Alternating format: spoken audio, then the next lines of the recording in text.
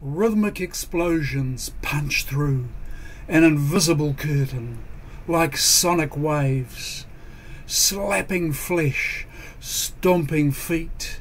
Hands ripple the air, reverberating with the spirit of the land, creating space for a fresh revelation, a change of season, 200 year old dance of joy and the promise of peace, touching past, present, and destiny. Te Wiro o Nui where the sun first rises. Dobbins, welcome home, Waiata.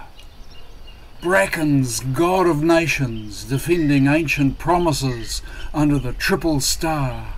As we weave again the tangled threads, He iwi tahi tatou, seeking unity and diversity. All nations within a nation, under a long bright cloud. Maramatanga shining afresh on a broken world.